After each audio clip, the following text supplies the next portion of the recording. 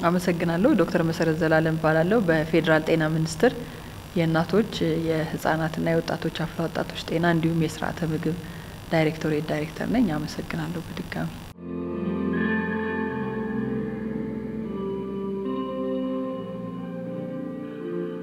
ይሄን መነሳት የምፈልገው ከስነ ተዋልዶ ጤና ነው የምጀምረው።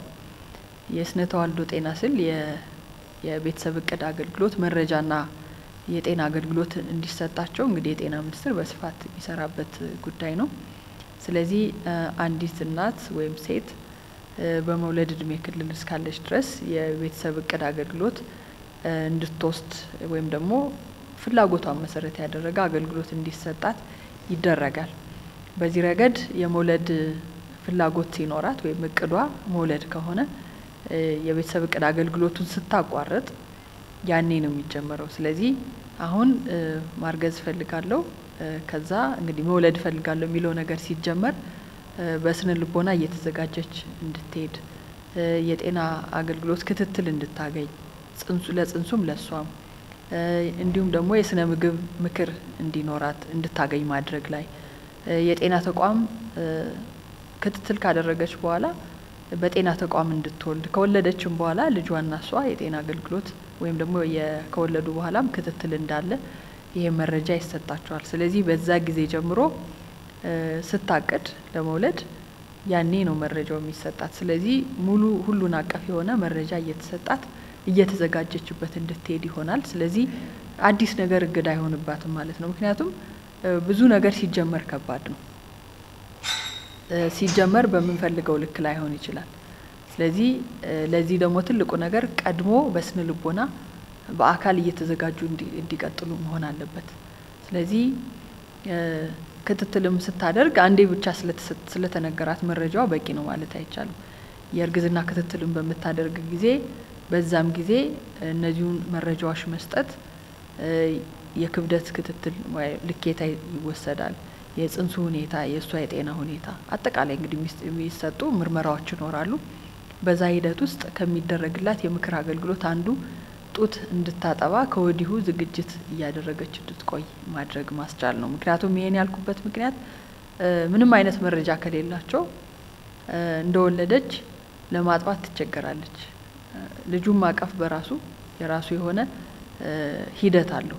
ዝም ብሎ ስለታቀፈ ጡት ይጠባል ወይም በቂ ነው የምንለው ነገር አይደለም። ስለዚህ የራሱ የሆነ አካሄዶች አሉት። ስለዚህ ያን መረጃ እንዲኖራት እሷን መደገፍ፣ ማስተማር እንድትችል ማድረግ ያስፈልጋል። ምክንያቱም በልምድ የሚመጣም ነገር ስለሆነ በእውቀት የተደገፈ መሆንም ስላለበት በዛ መንገድ ይሆናል። ሌላው እንደወለዱ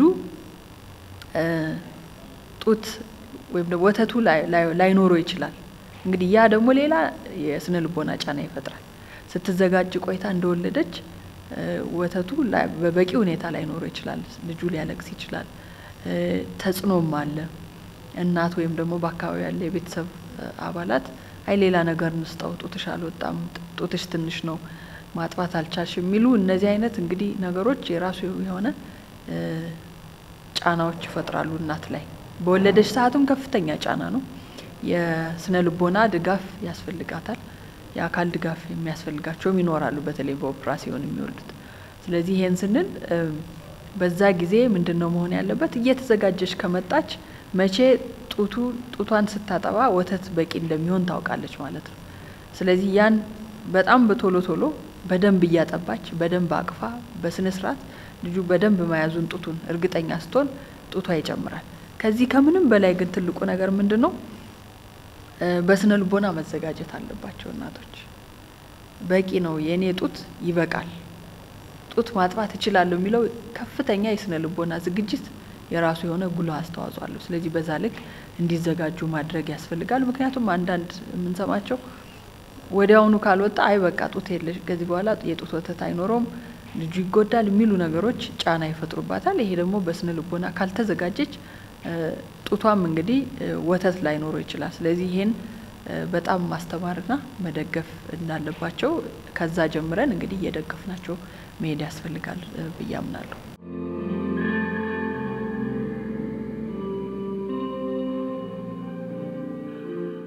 እንግዲህ እናትን ስናዘጋጃት እንቆያለን። ስትወልድ ወዲያውኑ አንድ ሰዓት የሚለው ምንድን ነው እዚህ ጋር መግለጽ እንፈልገው የመጨረሻው ሰዓት ነው አንድ ሰዓት እንጂ ልጁ እንደተወለደ ጡት እንዲጠባ ነው የሚመከረው። ስለዚህ እንደተወለደ ጡት እንድታጠባ ይመከራል። ምንም አይነት ነገር ከጡት በፊት መሰጠት የለበትም። በተለይ የመጀመሪያው ጡት የመጀመሪያው የህይወት ክትባት ነው ብለን እናስባለን።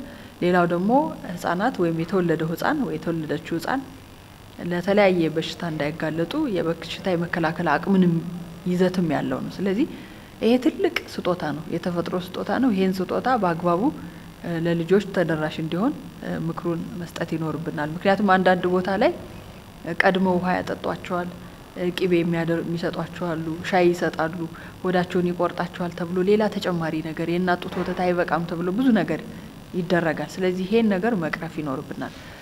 ስለዚህ ያለው መመሪያው ምንድን ነው? እንደወለደች እንድታጠባ ይመከራል። ቢያንስ ከአንድ ሰዓት በአንድ ሰዓት ውስጥ መጀመር እንዳለበት እንዳለ ማጥባት እንዳለባት ይመከራል። ከዛ ጡት ብቻ ነው እስከ ስድስት ወር የሚሰጠው። እንዴት ሆኖ ይሰጣል? በአግባቡ ማቀፍ ይኖርባታል። እሷ ድጋፍ ያስፈልጋታል። በስነ ልቦና ዝግጅት ያስፈልጋታል። ሁለት ተጨማሪ ሁሌ ከምትመገበው ሁለት ተጨማሪ መመገብ ይኖርባታል። ነፍሰ ጡርም የሆነች የምታጠባም እናት ምክንያቱም ለእሷም ለልጇም ነው እሷ የምትመግበው። ስለዚህ ይሄ መሆን አለበት። የውሃ ይዘቱ በቂ ነው።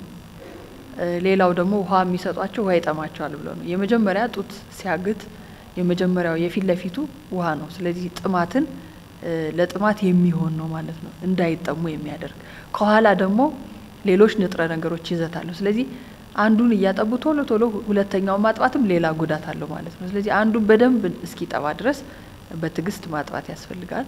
ሌላው መቁጠር ካለባት እንግዲህ ከስምንት እስከ አስራ ሁለት ጊዜ በሀያ አራት ሰዓት ውስጥ ለመጀመሪያው ስድስት ወር ህጻናት መጥባት እንዳለባቸው ይመከራል። አንዱ ጡት በስነ ስርዓት ማጥባት ይኖርባታል። አንዱ ሲያልቅ ወደ ሁለቱ መሄድ ይቻላል።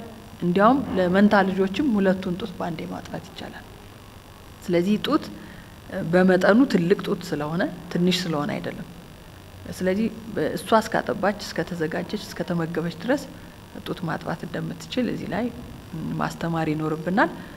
ስድስት ወር ሲሞላው ደግሞ ስድስት ወር ላይ ተጨማሪ ምግብ በደንብ በስነ ስርዓት ንጽህናውን የጠበቀ በደንብ የበሰለ ከተለያዩ ንጥረ ነገሮች ይዘት ያለው ይሄን በደንብ የተውጣጡ የምግብ ስብጥር ያለበት እሱን መመገብ ያስፈልጋል። እንግዲህ በእጃቸው አይመገቡም ወይም ደግሞ ጠጣር የሆነ ነገር መዋጥ አይችሉም፣ ጥርስ የላቸውም።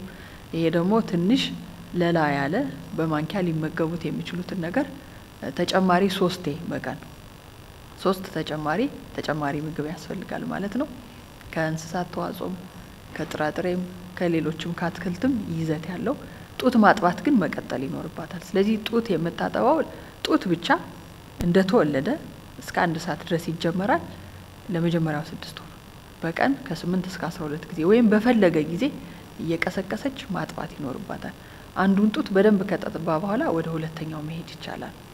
ይሄ ነው። ከስድስት ወር በኋላ ደግሞ ተጨማሪ ሶስት ምግብ በማንኪያ ንጽህናዋን በጠበቀ መንገድ በደንብ የበሰለ ሌሎች የእንስሳትም የተዋጽኦ ያለው እንዲሁም ደግሞ ከጥራጥሬ ከተለያየ ምግብ ስብጥር ያለው ሶስት ተጨማሪ ምግብ ጡትም እየጠባ ይቀጥላል ማለት ነው። ስለዚህ ለሁለት ዓመት ጡት ይጠባል ማለት ነው። ስለዚህ ይሄ ትልቅ እንግዲህ መሰረት የሚጣልበት ነው። በሀገር ደረጃ ያለውን ስር የሰደደ የምግብና የስርዓተ ምግብ ችግር የምንቀርፍበት ትልቅ ሂደት ነው። የአንድ ሺህ ቀናት ንቅናቄ እንለዋለን። ስለዚህ ከጽንሰት ጀምሮ ልጅ እንደተወለደ ሁለት ዓመት ላይ ያለውን ጊዜ ይሸፍናል። ስለዚህ እናትንም ልጅንም መደገፍ እንዳለብን በዚህ አጋጣሚ ይገልጻለሁ። በመጀመሪያዎቹ ስድስት ወር ምናልባትም በሕክምና ካልታዘዘ በቀር ምንም አይነት ነገር አይሰጥም። ስለዚህ በቂ ነው ብለናል። ሁለት ነገሮችን ግን አነሳለሁ እዚህ ጋር ከጡት ተጨማሪ ቫይታሚን ኬ የሚባል መድኃኒት ይሰጣቸዋል እንደተወለዱ። ስለዚህ ቫይታሚን ኬ ስለሌለው በሆስፒታል በጤና ተቋም መወለድ አለባቸው ህጻናት የምንለው ይሄን ነው።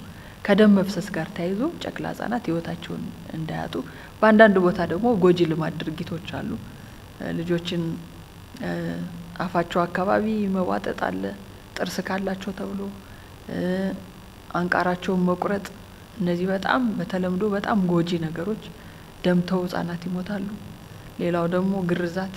ስለዚህ እነዚህ ከደም መፍሰስ ጋር ተያይዞ የሚከሰቱ ችግሮች ስለሆኑ እነሱን ለመቅረፍ እናት በጤና ተቋም ክትትል ታድርግ። ጤና ተቋም ትውለድ የምንለው ለዚህ ነው። ስለዚህ የቫይታሚን ኬ ያንሰዋል። ስለዚህ ቫይታሚን ኬ እንዲያገኙ ቫይታሚን ኬ እንሰጣለን ማለት ነው። ሁለተኛ የፀሐይ ብርሃን ነው። ቫይታሚን ዲ የለውም። ስለዚህ ቫይታሚን ዲ ደግሞ የምናገኘው ከተፈጥሮ ከፀሐይ ብርሃን ነው። ስለዚህ ሁላችንም በየቀኑ ቫይታሚን ዲ ያስፈልገናል እኛም ብንሆን ማለት ነው።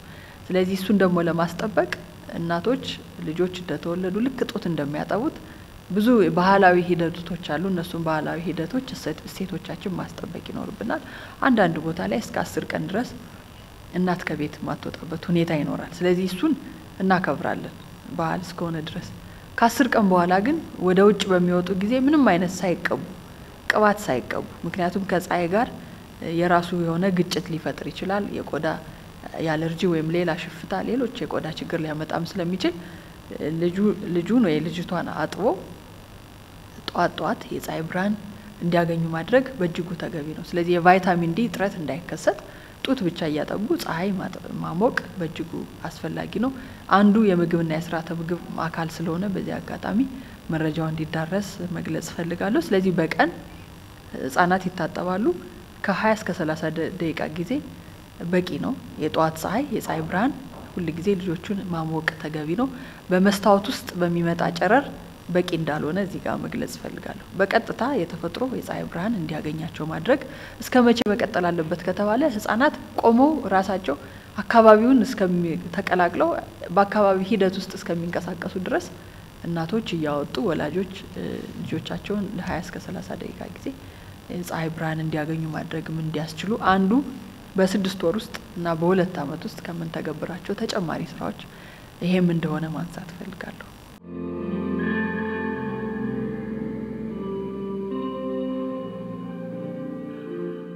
የፀሐይ ብርሃን ቆዳ ላይ አርፎ አስፈላጊውን የሳይንሳዊ ሂደት ሄዶ ቫይታሚን ዲ በአካል ውስጥ በበቂ ሁኔታ እንዲኖር እንዲመነጭ አያደርግም። ስለዚህ ይሄን ነገር ያው መተው አለባቸው ማለት ነው። በመስታወት ውስጥም አድርገው የሚያሞቁ አሉ። ይሄ ሙቀት ነው የሚሰጥ እንጂ የፀሐይ ብርሃን ቀጥታ ማግኘት አይችሉም። ስለዚህ ያ ተገቢ ነው። ምናልባትም አሁን ክረምት ስለሆነ ጠዋት ላይ ፀሐይ ላይኖር ይችላል። ስለዚህ ፀሐይ በወጣ ጊዜ ፀሐይ የፀሐይ ብርሃን በታየ ሰዓት ማሞቅ እንደሚቻል እዚህ ላይ ማንሳት ፈልጋለሁ። ግን የአልትራቫዮሌት ወይም የፀሐይ ብርሃን ከፍተኛ የሚሆንበት ሰዓት ላይ ያ እሱ አይመከርም። ለዚህ ነው ጠዋት ጠዋት ቢሆን የተሻለ ነው የሚለውን ምክር እንለግሳለን።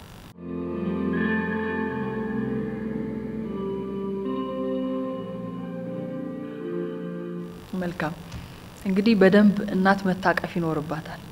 በደንብ ሰውነቱ ቀጥ ብሎ ወደ እሷ ፊቱን ዞር ብሎ ከሆዷና ከደረቷ ጋር በደንብ በደንብ በቃ ከእሷ ጋር በደንብ መጠጋት ይኖርበታል። ሌላው እሷና እሱ መታየት አለባቸው። እሱም ምለው እንግዲህ ለእሷም ይሆናል ሴት ወይም ወንድ ህጻን። ከዛ ደግሞ በስነ ስርዓት ጡቷን ማጉረስ ይኖርባታል። ስለዚህ እዛ ላይ በደንብ መያዙን ማየት አለባት። በበቂ ሁኔታ ጡቱን እየሳበው መሆኑን ማየት ይኖርባታል። ስለዚህ በሚበቃቸው ጊዜ እነሱ ይተውታል። ስለዚህ በሚተውት ጊዜ በቂ ነው ማለት ነው። ስለዚህ ያኔ ደግሞ በደንብ እየቀሰቀሱ ማጥባት ይኖርባቸዋል። በተለይ በመጀመሪያዎቹ ሳምንታት እንደተወለዱ ህጻናት እንቅልፍ ያጠቃቸዋል። ስለዚህ ሲተኙ ዝም ማለት አያስፈልግም። በየሁለት ሰዓት እየተቀሰቀሱ ማጥባት ይኖር አስፈላጊ ነው።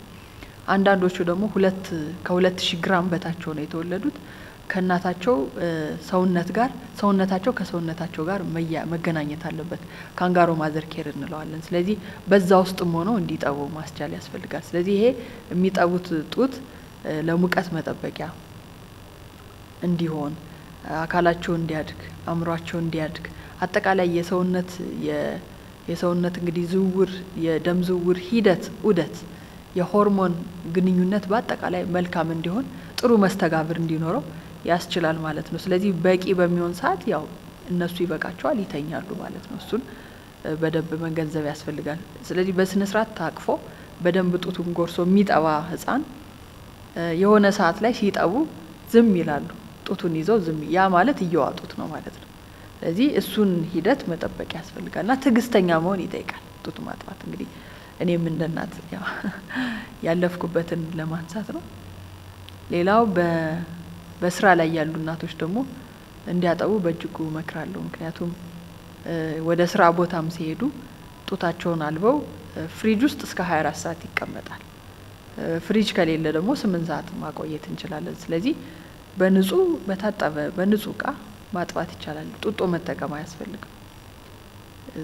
እናት 24 ሰዓት ላትወጣ ትችላለች ከቤት። ስለዚህ ባለች ጊዜ ታጠባለች፣ ከሌለች ጡቷን አልባ ማስቀመጥና ማጥባት። በተለይ የመጀመሪያዎቹ ስድስት ወራት ወሳኝ ጊዜ ናቸው። ከዛም አልፎ የመጀመሪያዎቹ ሁለት አመት ሁለት አመታት ህጻናት የወደፊቱን እጣ ፋንታቸውን እንግዲህ መሰረት የሚጣልበት ጊዜ ስለሆነ ገንዘብ፣ ቁሳቁስ ሀብት አይደለም እንሰጣቸው በዚህ እድሜ ለወደፊቱ ተወዳዳሪ በጤና በስርዓተ ምግብ በስነ ልቦና በአጠቃላይ በቂ የሆነ ዜጋ ብቁ የሆነ ዜጋ ለመፍጠር መሰረት የሚጣልበት ጊዜ ነው። ከጽንሰት ጀምሮ አቅዶ ከመውለድ አቅዶ ከማርገዝ ጀምሮ ይጀምራል። እንግዲህ ስለዚህ ያን ጊዜ ትልቅ ጊዜ ስለሆነ ይሄን ጊዜ እንደምንም ተጋግዞ ልጆች እንዲጠቡ ማድረግ ማስቻል ተገቢ ነው የሚል እምነት አለኝ። ለእናትም እንግዲህ ብዙ ነገሮች ተብለዋል ቅድም ላይ ለእናትም የራሱ የሆነ የስነ ልቦናም የጤናም ጥቅም ስላለው በተለይ እንደወለዱ ማህፀን ወደ ቦታው እንዲመለስ በደም መፍሰስ እንዳይሞቱ እንዳይጎዱ ያደርጋል ማለት ነው። ቶሎ ማጥባት በደንብ ማጥባት።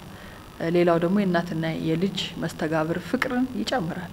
እናትና ልጅ የሚለው ይሄ ነው። እናትን ከልጅ መለየት አይቻልም፣ ተቃቅፈው ነው። ስለዚህ ይሄ ደግሞ ሌላኛው ደግሞ የሚጨምረው ጡት ማጥባት ነው። ሌላው ያልተፈለገ ውፍረትን ለመቀነስ ያስችላል። ሌላው ደግሞ እናት ጡት ስታጠባ confident ትሆናለች። ጡቴን አጥብቼ ነው ያሳደግኩ የሚለው ቀላል ነገር አይደለም፣ ቀላል መልእክት አይደለም እና ይሄንም ለእሷም ትልቅ የሆነ የስነ ልቦና ድጋፍም ነው ብዬ አስባለሁ። ሌላው እንግዲህ ብዙ የሳይንሳዊ ጥናቶች እንደሚያሳዩት በተለይ የጡት ካንሰር፣ የማህፀን ጫፍ ካንሰርንም እንደዚሁ መከላከል እንችላለን። እናት በምታጠባ ጊዜ የእንግዴ ልጅ በሰዓቱ እንዲወጣ ከደም መፍሰስ ጋር ተያይዞ ያሉትን ችግሮች ለመቅረፍ ያስችላል። ለህጻናቶቹ ደግሞ ከሁለት ዓመት በላይ ይሄ መሰረት የምንጥልበት ያልኩበት ምክንያት አለኝ። በጎልማሳ ጊዜ እድሜያቸው በወጣትነት በአፍላ ወጣትነት እድሜያቸው ጊዜ የሚከሰቱ አላስፈላጊ ውፍረት እንዲሁም ደግሞ ተላላፊ ላልሆኑ በሽታዎች የመጋለጥንም ሁኔታ ይቀንሳል ተብሎ ይታሰባል።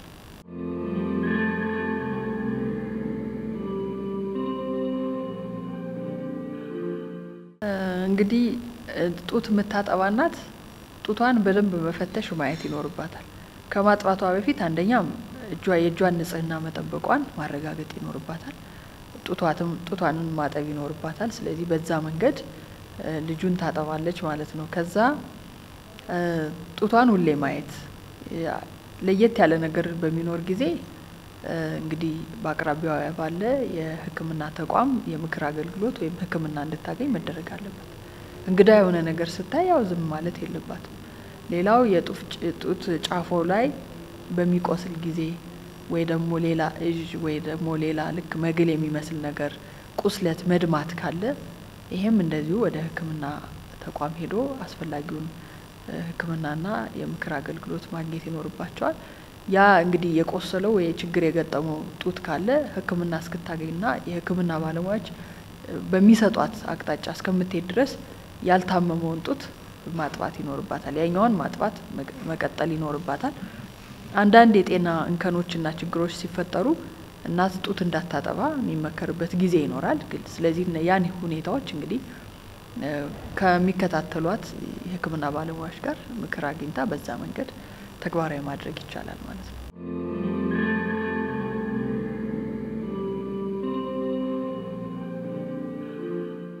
ከአባቶች ሚና ከመሄድ በፊት ምናልባትም ከኤች አይቪ ቫይረስ ጋር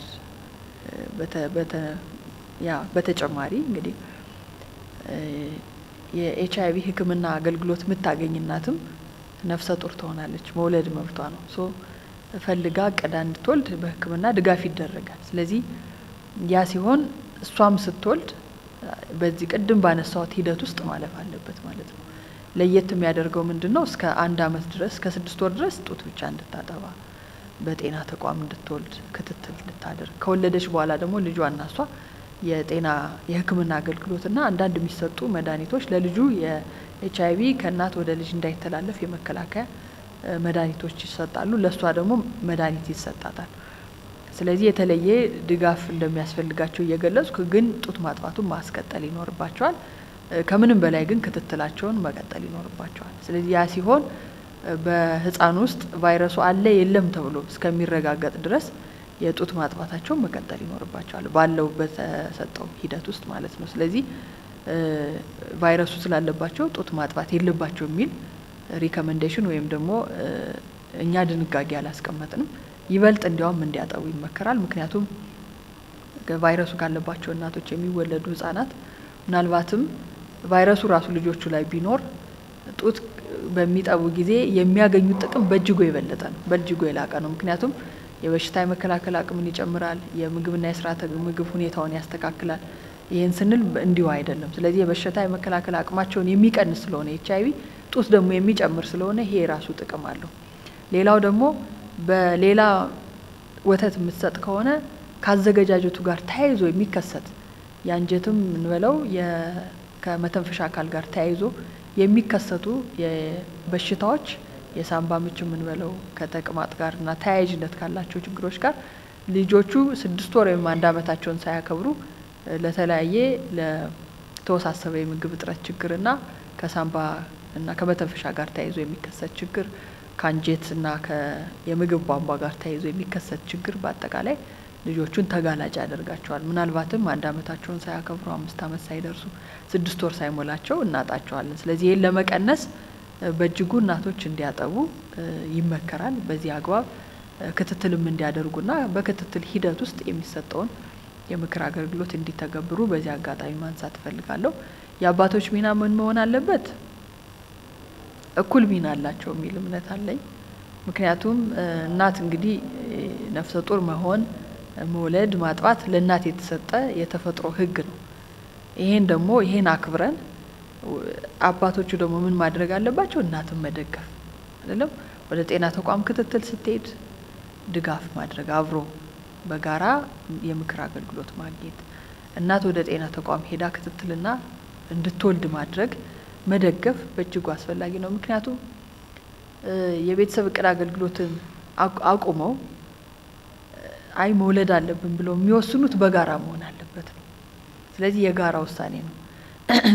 ልጃቸው ደግሞ የጋራ ልጅ ነው። ስለዚህ በጋራ ሁኔታ ውስጥ እኩል ተሳትፎ እኩል ድርሻ አላቸው። ለዚህ እናትን መደገፍ፣ እንድታጠባ ማድረግ፣ ሌሎች ድጋፎችን ማድረግ፣ የስነ ልቦና ድጋፍ ማድረግ በእጅጉ ያስፈልጋል። የሚያስፈልግበትም ሰዓት ነው ብለን እናስባለን። ምክንያቱም በወሊድና በመውለድ ሂደት ውስጥ ብዙ ነገሮችን ታልፋለች እናት ብዙ ህመም ነው የምታልፈው። ስለዚህ ያን ህመም ደግሞ ለማስታገስ ሰው ከጎን ያስፈልጋል። ሰው የሚደግፍ ያስፈልጋል። ስለዚህ እንድታጠባ ልጁን ማቀፍ፣ መደገፍ በጣም ብዙ ነገር አለና በዚህ አጋጣሚ አባቶችም እናቶች እንዲደግፉ ምክንያቱም ሁለቱ ሲደጋገፉ መልካም ልጅ፣ መልካም ዜጋ፣ ብቁ ዜጋ ይፈጠራል ብዬ አስባለሁ። አመሰግናለሁ።